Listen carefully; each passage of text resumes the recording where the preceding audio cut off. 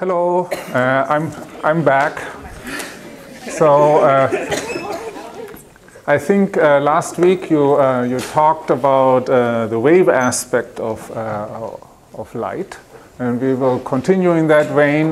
we will talk about diffraction and polarization. And this prize-winning photo actually shows both polarization effects as well as diffraction effects. And that's where the pretty colors come from in the reflection of the glasses. As soon as the uh, wave theory of light was, uh, was shown by the uh, young uh, double slit experiment, there was an objection raised by this French fellow. And he said, well, if light is really a wave, then if we have some object and look at the shadow of the object, in the very center of that shadow, there should be a bright spot because it's equally distant from each uh, po uh, portion of the rim, and therefore we should have constructive interference at the center. So if, if the particle theory is correct, then of course we see a, a normal shadow, but if the wave theory is correct, then in the center of the shadow there has to be light. And clearly that is ridiculous. However, if one does the experiment very carefully for a circular disk like that, and here's an image of it, you actually do find a bright spot in, uh, in the very center, just like the wave theory uh, predicts.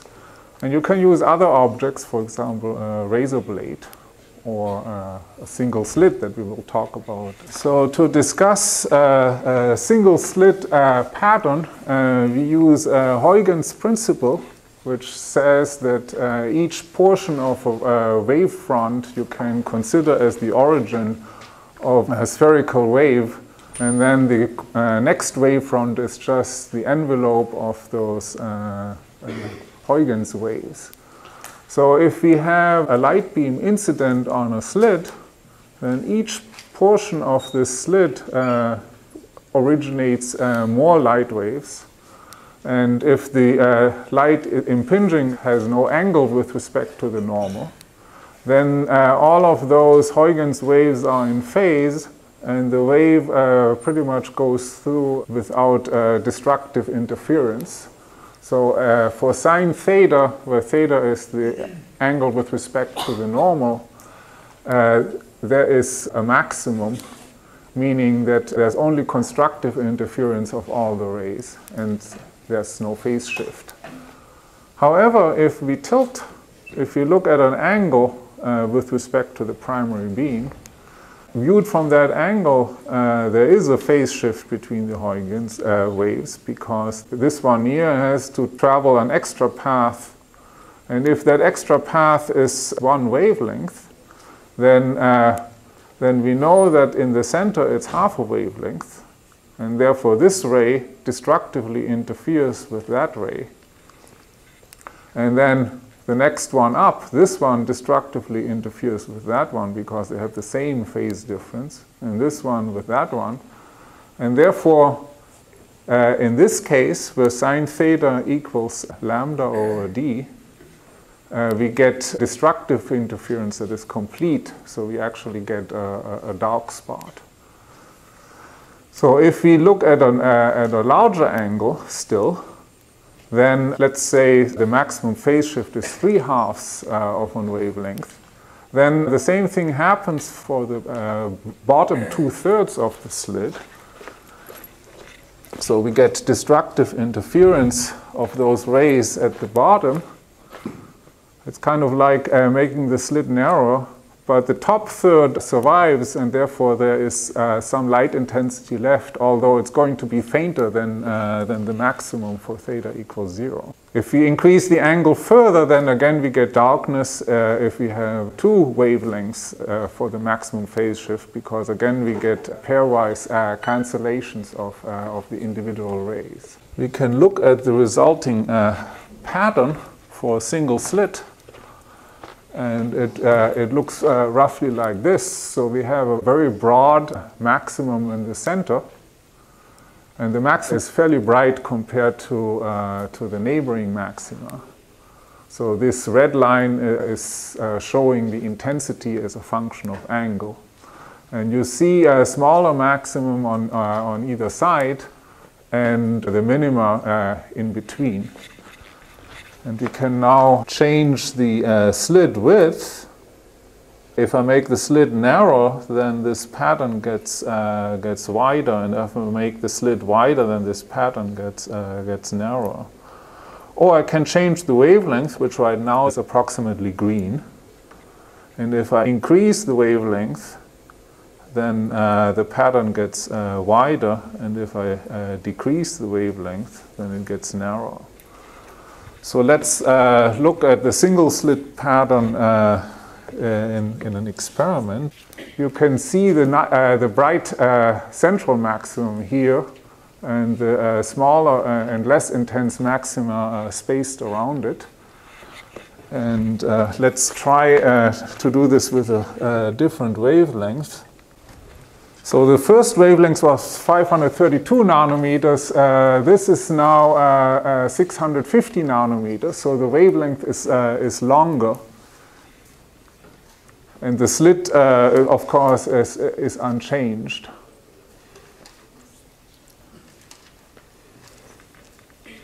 So now let's try a, a shorter wavelength. Of course, the qualitative pattern is the same as it is before. It is just the spacing between uh, bright spots and dark spots that changes. So let's try a short wavelength. So the short wavelength will be uh, 400 nanometers, uh, almost half of the wavelength that we just saw. Yeah, you can see that the, uh, the, the, maximum in this case uh, the, is, uh, is uh, the central maximum is, uh, is narrower than it was for the, uh, for, for the red laser light. And you can sort of see the first minimum here. So here I've reproduced the, the intensity pattern as a function of uh, x or uh, this, uh, this beta function, which is uh, defined as the wave number times the diameter times the sine of the angle. And the actual intensity function looks like this, in case you're, uh, you're curious. What you really need to know is that uh, there, there are minima for these conditions if d times sine times theta equals m times lambda if m is plus minus 1, 2, or 3, but not 0, because 0 is the central maximum. And then maxima approximately at uh, 3 halves, 5 halves, and so on. And the single slit minima are at the maxima of the uh, Young double slit uh, pattern that you uh, were discussing last week. So uh, be careful when applying the, uh, the, formula because for the single slit pattern, uh, this is the condition for, uh, for minimum, not for maximum.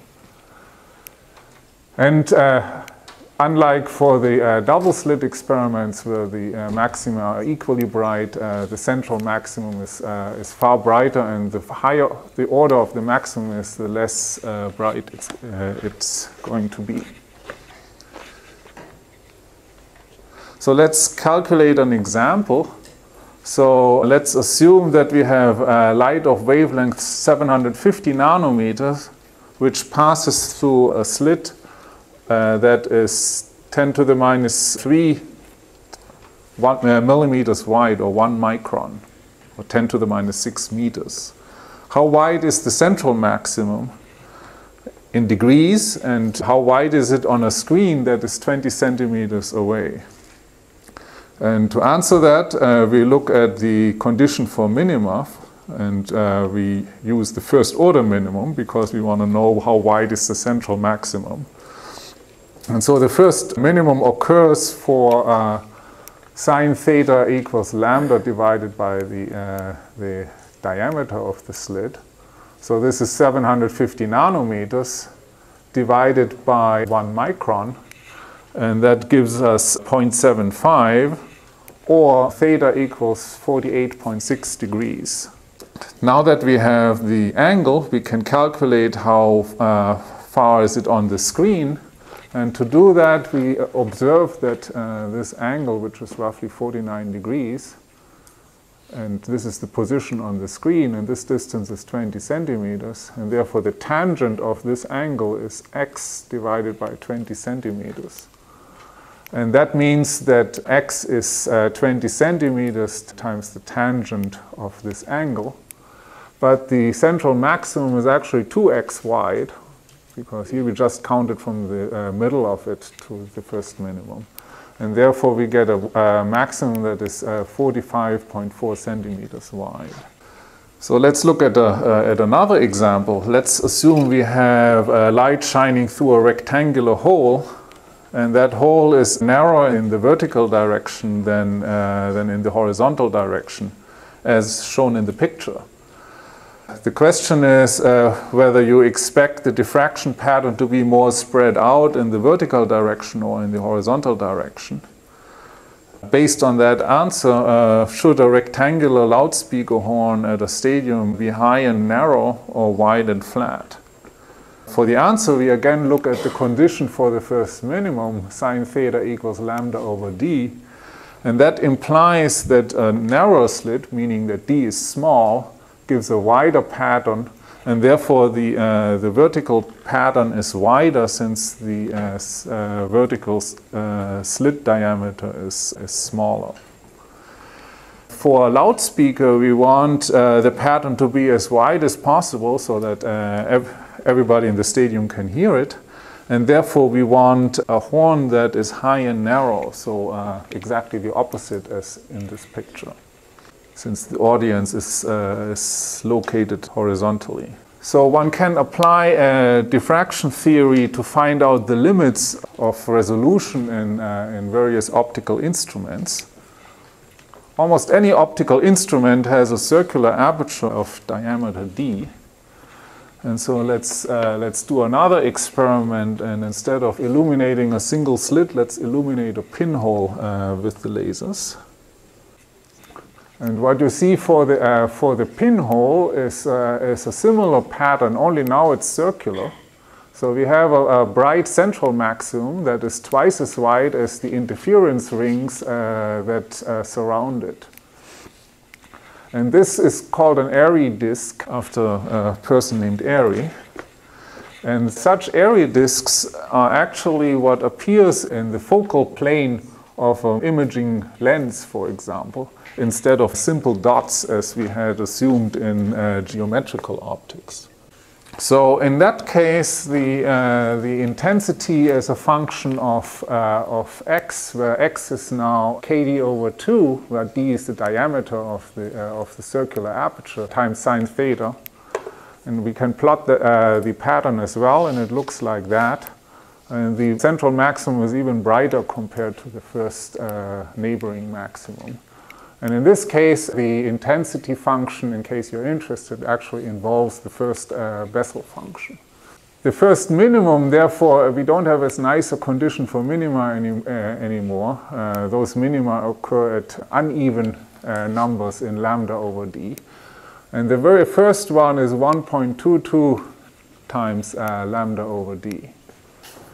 And so uh, Rayleigh formulated a criterion what, uh, uh, about the resolution limit of an uh, optical instrument.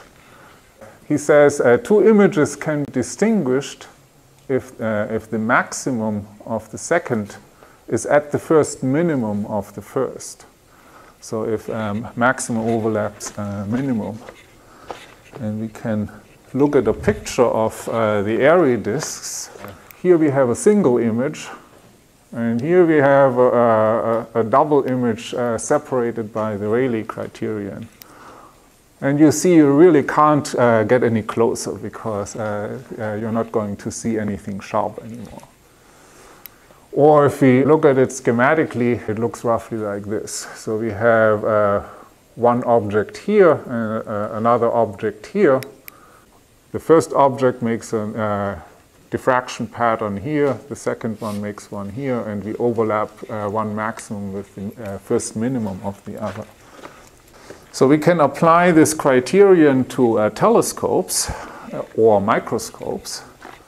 we define, in the case of a, uh, of a microscope, uh, we also define the resolving power, or RP or S, which is simply the angular separation from the Rayleigh criterion uh, multiplied with the focal length.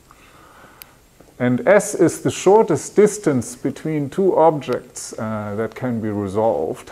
And the assumption is, is that the object is roughly located at, uh, at infinity, so far away from the, uh, uh, from the instrument. Now, the focal length of a lens can't be much smaller than its radius of curvature. Otherwise, we won't have a thin lens anymore. So we can also see that from the lens maker's equation. So at, at the very best resolving power we get for the short, shortest focal length compared to the uh, diameter and so that one is uh, roughly the diameter divided by 2. So we get as the shortest, as the best resolving power, we get uh, roughly the wavelength divided by 2, independent of the uh, quality of the instrument. So this is the limiting case. You can't make an instrument that, that does better than that. There is sort of one exception to that, uh, to that rule, and I think you were introduced to it uh, last week uh, these uh, LIGO apparatus is attempting to resolve uh, distances of 10 to the minus 15 meters using optical light. And you can do that if you do it statistically with, uh, with high enough light intensity. But it's a heroic effort to do that. So your usual instrument is limited uh, to wavelength divided by 2. So let's consider an example. Let's look at the Hubble Space Telescope.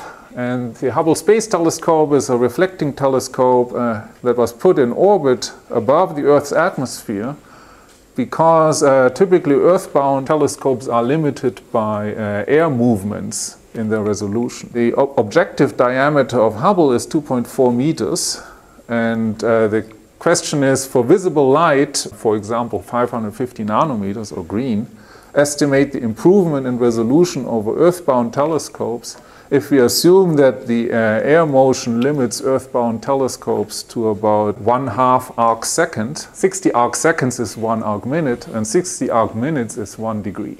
So, uh, in other words, half an arc second is uh, 1 over 7,200 uh, of a degree. Half an arc second is 1 over uh, 7,000 of 200 in degrees.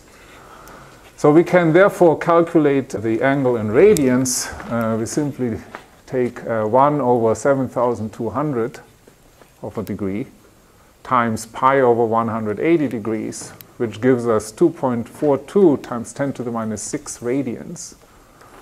And for uh, the Hubble Space Telescope, uh, we uh, simply use the uh, Rayleigh criterion uh, to get the resolution there. And if we use 1.22 times 550 nanometers divided by 2.4 meters, which is the objective diameter, then we get 2.8 times 10 to the minus 7 radians. Therefore, we find that the earthbound uh, uh, angle of resolution is, uh, is 8.7 times larger than the Hubble one. So, in other words, Hubble is almost nine times better than an earthbound telescope. And that is in spite of the fact that earthbound telescopes usually are larger and have a, a larger ob uh, objective diameter. Let's look at a second example. Uh, and uh, this is looking at the Arecibo uh, radio telescope. If you're ever in Puerto Rico, I recommend checking it out. It's actually quite interesting. So uh, here it is. It's a telescope that is 300 meters in, uh, in diameter. So this radio uh, dish, which is kind of like a, a, a, wire network, is reflected on a detector which is uh, hovering above it here. And we compare uh, this radio telescope in its resolution to the 200-inch uh, uh, telescope on Palomar Mountain here in Southern California. For the Palomar resolution, we have uh, 550 nanometers because it's, the, it's an optical telescope divided by 5.08 meters, the objective diameter, times 1.22, which gives us 1.3 times 10 to the minus 7 radians. And Arecibo has a much larger objective diameter, but radio waves are much longer. So the shortest wavelength measured with Arecibo is 4 centimeters. And if we plug in the number, we get uh, 1.6 times 10 to the minus 4 uh, radians, so much larger than the uh, resolution limit of, uh, of the optical telescope. However, uh, there are other advantages of the larger diameter, and that is you can detect much fainter objects. But it's a problem for radio astronomy uh, that uh, resolution is, uh, is, is, harder to achieve. And so, in, in general, one uh, combines multiple radio telescopes to get a larger effective diameter. Another instrument whose resolution is limited is, uh, is the human eye. And uh, there are actually not just the Rayleigh criterion that limits it, but there are multiple factors which are of similar magnitude.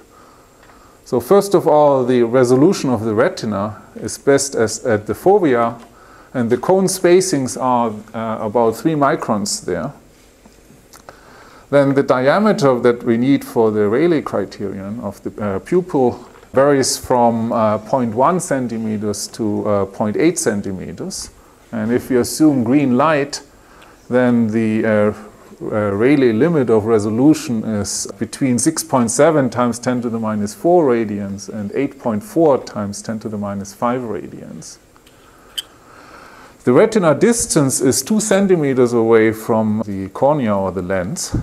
And so if uh, we look at the S, which is the focal length times the, uh, uh, the angular separation, that gives us the uh, distance on the, uh, on the retina of the, of the Airy disks from the Rayleigh criterion. And so that comes up to lie between 1.7 micrometers to 13 micrometers. And then there are spherical and chromatic aberrations in, in, uh, in the human eye, and uh, they amount to about 10 micrometers. Uh, so we have 3 micrometers from the separation of cones, we have between 2 and 13 micrometers from the, uh, from the Rayleigh criterion, and we have about 10 micrometers from uh, imperfections in the, uh, in the, optics of the eye. So uh, for a rough round number, we can assume that the sum total is roughly 20 micro, uh, micrometers, and that corresponds to 0.5 milliradians in, uh, in angle. And that means that we can separate objects that are one centimeters apart over a distance of 20 meters. So at the near point, we can separate objects that are uh, 0.125 millimeters apart. Now, if we look at uh, how well do we do with the naked eye compared to uh, what can the best light microscope do, and the best light microscope would use 400 nanometer light, just at the edge of visibility. And that gives us one half the wavelength, gives us uh, 200 nanometers resolving power. And so uh, if we take the ratio of those two numbers, uh, we come up with the best effective magnification of a light microscope uh, of being roughly 600 times. So you can see 600 times better with a, a microscope uh, compared to the uh, naked eye. And usually microscope use up to 1000 times, and that is to reduce eye strain that we don't have to focus on the near point, but uh, can have the eye relaxed. But if you go to bigger magnification, then all you're going to discover is uh, diffraction patterns rather than the object that you, uh, that you want to study. Let's look at an, at an example also, uh, one that uh, I uh, could have tried uh, on my way back from Japan. So if you're in an airplane at an altitude of 33,000 feet, which is about 10,000 meters, and you look at the ground, and assuming that you're not over the Pacific Ocean, but over solid ground, uh, estimate the minimum separation that you need between objects so that you can distinguish them. For example, is it possible to count cars in a parking lot? And for the answer, we assume the uh, standard half a milliradian uh, angular resolution of the eye and a distance of 10,000 meters. So we multiply the two, that gives us a, a resolving power of, uh, of 5 meters. And that means that we can just barely count cars if they are large enough. And uh, just from the diffraction alone, for the least dilated pupil, meaning for bright uh, sunlight conditions, we get three meters. So we can do a little bit better if we have very good eyes, but uh, we can just barely count cars from such an altitude. Of course, such a question is important for, uh, for animals like uh, eagles that try to distinguish small animals on the ground. Let's now uh, talk about multiple slits. And if you assemble enough of them, it is called a diffraction grating. So uh, to start this with, let's look at the, uh, this Java applet here for the single slit. And now let's put two slits on there. And let's also make the slits as narrow as possible so that we get we actually get the interference patterns of both superimposed on top of each other, which is very complicated. And so rather we uh, make the slit width as, uh, as small as possible and then we uh, discover, uh, rediscover the uh, Young experiment uh, of narrow slits. And we can, of course, change the uh, slits uh, separation, which then changes the separation of maxima. So now let's uh, look at three slits.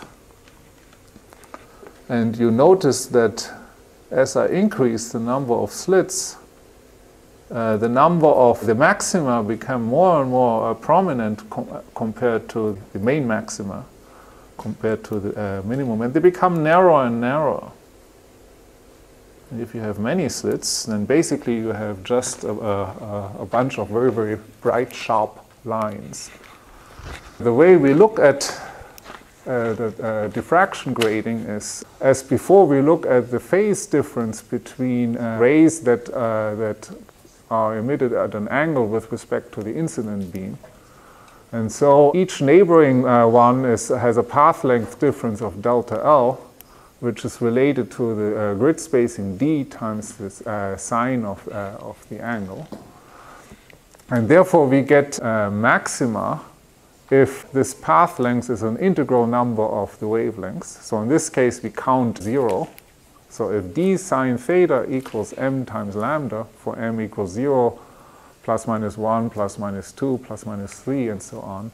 The reason why we get such uh, sharp and narrow maxima for large uh, number of slits, and here I've reproduced some of those, uh, those graphs, for example, for two slits here compared to six slits, is that if we have even a slight mismatch to the integral number of, uh, of lambda, for example, let's say just one thousandth of a wavelength from one uh, ray to the next ray, then if we have 10,000 such slits, then the 5,001st will actually be shifted by half a wavelength.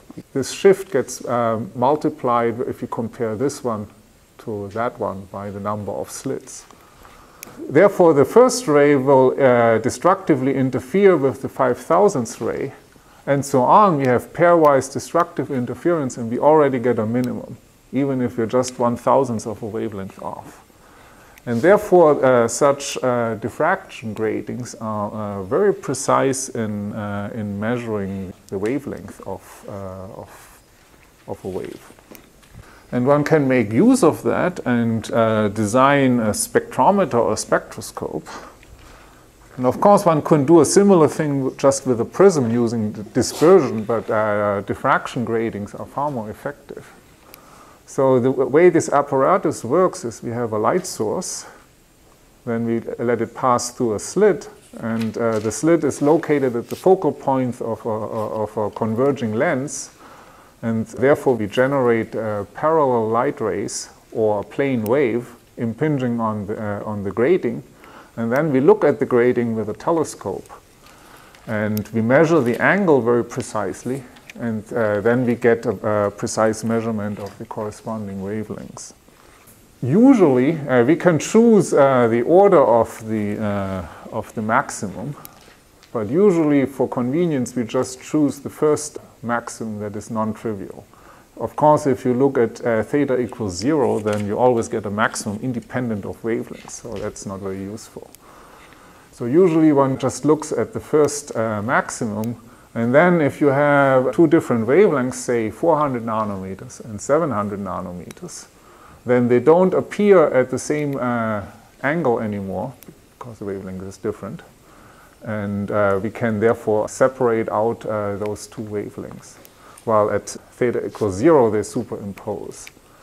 Or if we have a continuous spectrum, then we see a rainbow pattern uh, for uh, the first, the second, and then the third maximum, and so on. So uh, those are called a spectrum. And that is why this instrument is called spectrometer or spectroscope. So let's look at an example. Let's determine the uh, angular positions of the first and second order maxima for uh, light of wavelength 400 nanometers and 700 nanometers incident on a grating containing 10,000 lines per centimeter. So uh, to, uh, to answer that question, we first need to find out what is the spacing between uh, neighboring lines. And so we take the 10,000 per centimeter, uh, we take the inverse of that.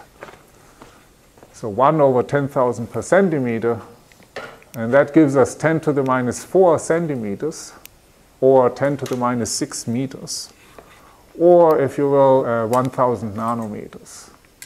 So uh, the, the sine theta of 400 nanometers, uh, we, we, uh, we, now use the, the, the, formula. Let's look at this one instead. For the 700 nanometers, the first order maximum, we multiply with 1, which is the m. And we have 700 nanometers, and we divide by 10 to the 6 meters, which is the spacing. So this gives us 0.7 for uh, 700 nanometers. And for 400 nanometers, we multiply 400 nanometers divided by 10 to the minus 6 meters. And that gives a sine theta of 0.4 in the formula. Then for the second order maxima, for 400 nanometers, uh, we multiply by 2. So this gives us 2 times 400, uh, or 0.8. And for the 700 nanometer case, we get uh, sine theta equals 1.4. And so we observe that sine theta of 1.4 is not satisfied by any angle. Therefore, the second order maximum doesn't exist for the 700 nanometer case. And the first order angles for 400 nanometers is 23.6 degrees and 44.4 degrees for 700 nanometers. And for 400 nanometers, uh, the second order does exist and is at 53.1 degree. Theta for 700 nanometers 2 not exist? Uh, the maximum not exist? Uh, because the sine would have to be uh, 1.4. Oh. And so there's no angle for which the sine is, uh, is, is 1.4. So eventually, you can't have infinite order uh, maximum because eventually you, uh, you're finished with your 180 degree uh, angle. Let's look at another example. Uh, let's look at a music CD. And if you, if you look at it, you see the colors of a, uh, of a rainbow, and that's typically a sign that there are some uh, interference effects involved. So the question is, we, uh, we uh, estimate the distance between the curved lines that actually uh, contain the music, which are read out by a laser. And the second part of the problem is, uh, is the same, estimate the distance between the lines, but in a different way. Now we note that a CD contains at most about 80 minutes of music and that it rotates at uh, speeds from 200 to 500 revolutions per minute and that only the outermost two-thirds of its uh, six centimeter radius actually contains the lines which contain the music. So for part A, we simply say uh, that uh, the line spacing has to be a few times the wavelength of optical light, which is about uh, 0.5 micrometer. So in other words, the line spacing can be anywhere between 0.5 micrometers to say uh, 2 micrometers. For part B, we first calculate the total number of revolutions uh, that happen in, uh, in 80 minutes. So if we take an average speed of 350 revolutions per minute and multiply by 80 minutes, then we get 28,000 uh, revolutions. And that means that there have to be 28,000 lines spread over uh, uh, two thirds of six centimeters or four centimeters. And the line spacing is therefore 0.04 meters, the 4 centimeters, divided by the uh, number of lines, or 28,000 lines. And that gives us uh, 1.4 uh, micrometer, which is uh, in this reasonable range uh, of the line spacing that we got from part A. So the uh, CD operates close to the diffraction limit when using a 650 nanometer laser. And so the, uh, it was quite important when in, uh, in Japan uh, laser diodes were developed uh, that could operate at 400 nanometers, one of which you saw earlier today.